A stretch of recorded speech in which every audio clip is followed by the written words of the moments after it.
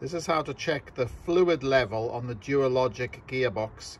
It has a little reservoir and the fluid level, if it's at the wrong level, too low, simply can sometimes cause issues about the gearboxes, it becomes erratic.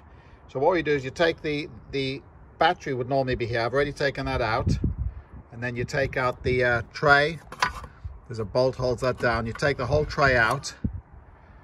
And once you've got the tray out, we'll show you next you need to take this metal protective cover out. This metal protective cover comes out the bottom actually. I'm showing it from the top here, but it's held on by four bolts. There are two that side and there are two that side. So that will sit down at the front behind the radiator and that keeps the all the muck off the, um, the front of the Selespeed Dualogic unit.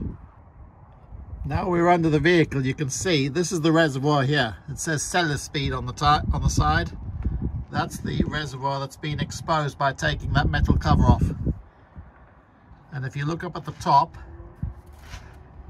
right up at the top, there's a min max, there's the min max mark, and you can actually see I'm a little bit over the max. So when this was last changed a good few years ago, maybe a little bit was put, too much was put in.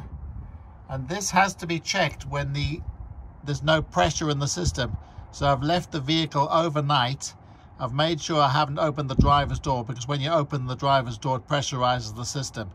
So I popped the bonnet, taken the um, battery out, taken the cover off and I can check and I'm just going to leave it because it's working so at least I know it's right. If it did need topping up then you loosen that, take that off and then you fill the required amount of fluid in there. The sockets you'll need, you'll need a 13 millimeter and a 10 millimeter. This is where the four bolts go to hold the cover back on. There's one there, there's one there, and on the other side, you can see there's one there, and then there's one right up there as well. So four bolts hold the protective cover in place. So to remove this, their, in, their intake, wiggle it and get it out, and then it comes out from here.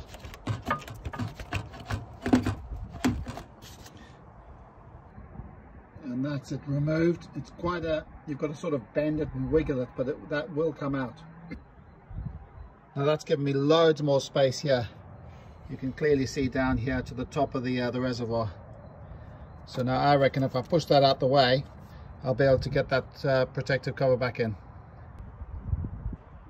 Okay, so to get this shroud back in, it's probably the fiddliest bit. I tried it from the bottom by pushing it up. It sort of couldn't do it. So then I tried it from the top. I took the air intake out of here and uh, I tried it from the top, but I couldn't do that either. So then I tried it from the bottom while, while I'm under the car and then I've jammed it in position and then I've come around and I'm looking at it from the top now and now once it's in the top, I can get it into position and that is what it looks like. I haven't tightened it up yet but it's now sitting in the correct position. You can see I've loosely put the bolts in. There's the one at the top there. And the, uh, there's the other one there. That was the one that was more corroded the head of this bottom one on that side of the shroud. And you can see that there's a bolt there. I'm going to tighten up now and there's one up there as well this is a little ratchet tool I'm using with the 10 millimeter socket. So for the one side, you don't need the extension piece, but on the um, other side, you will need the little extension bar. Now I'm going to put the battery tray back in. It's held in by three bolts. There's one at the back and two at the front, obviously left and right.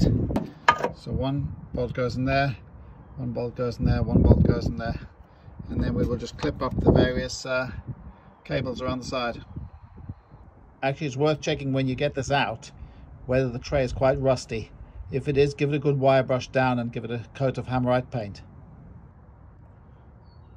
Make sure you tuck these cables nicely into these clips and there'll be one at the back as well in that corner and then you just tighten it all up.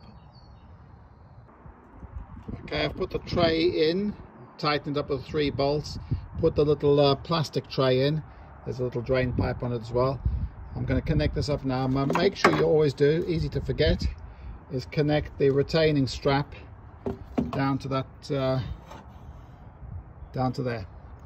If you don't have that strap properly that's an MOT failure when you're finished this is obviously the quick release so this is pretty obvious. That snaps shut you can't really make it tight. Make sure this is uh, adequately tight. The last thing you want is that to be loose on the post just check that you've tightened up there so the strap's done that battery's in place. That's the um, air intake piece I had to put back in because I took that out when I was trying to get there's the shroud. You can now see that's in place. Everything's tight. And we can now uh, pop the bonnet drop the bonnet sorry and away we go. The fluid they recommend if you need to top it up is a specific transmission fluid with ATF Dexron 3 type additives the Tutela version is called Tutela Car CS Speed. And that specifically says that's for the 7 speed transmission